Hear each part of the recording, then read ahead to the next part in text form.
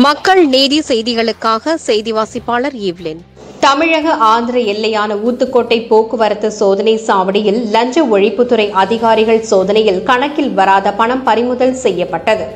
திருவள்ளூர் மாவட்டம் ஊத்துக்கோட்டையில் போக்குவரத்து துறை சார்பில் சோதனை சாவடி இயங்கி வருகிறது. தமிழக ஆந்திர எல்லையில் அமைந்துள்ள இந்த சோதனை சாவடியில் வாகனங்களுக்கு உரிமம் வழங்குவதில் லஞ்சம் பெறப்படுவதாக லாரி உரிமையாளர்கள் தரப்பில் லஞ்ச ஒழிப்புத்துறை அதிகாரிகளுக்கு புகார் சென்றது. இதனையடுத்து லஞ்ச ஒழிப்புத்துறை டிஎஸ்பி பாஸ்கரன் தலைமையில் பதினைந்து பேர் கொண்ட குழுவினர் இந்த சோதனை சாவடியில் அதிகாலை நான்கு மணி அளவில் திடீர் சோதனை மேற்கொண்டனர். தமிழகத்தில் இருந்து ஆந்திரா நோக்கி செல்லக்கூடிய வாகனங்கள் ஆந்திராவில் இருந்து தமிழகத்திற்குள் வரும் வாகனங்கள் உரிமம் பெற வேண்டி சமர்ப்பித்த விண்ணப்பங்கள் அதற்கு அளிக்கப்பட பெர்மிட் விவரங்கள் சேகரிக்கப்பட்டு அதற்கான கட்டணத் தொகை பிரித்தெடுக்கப்பட்டது.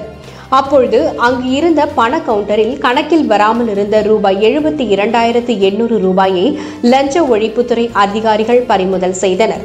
போக்குவரத்து சோதனை சாவடி ஊழியர்களிடம் தீவிர விசாரணை நடத்தப்பட்டு ஐந்து மணி நேர சோதனையை முடித்து லஞ்ச ஒழிப்புத்துறை அதிகாரிகள் எழுபத்தி இரண்டாயிரத்து எண்ணூறு ரூபாயை பறிமுதல் செய்து எடுத்துச் சென்றனர். கணக்கில் வராத பணம் வைத்திருந்த போக்குவரத்து துறை ஊழியர்கள் மீது துறை ரீதியிலான ஒழுங்கு நடவடிக்கைக்கு பரிந்துரை செய்யப்படும் என லஞ்ச ஒழிப்புத்துறை அதிகாரிகள் தரப்பில் தெரிவிக்கப்பட்டது. வாகன போக்குவரத்து அதிக அளவில் இருக்கும் அதிகாலை நேரத்தில் நடைபெற்ற இந்த சோதனையால் பரபரப்பு ஏற்பட்டது.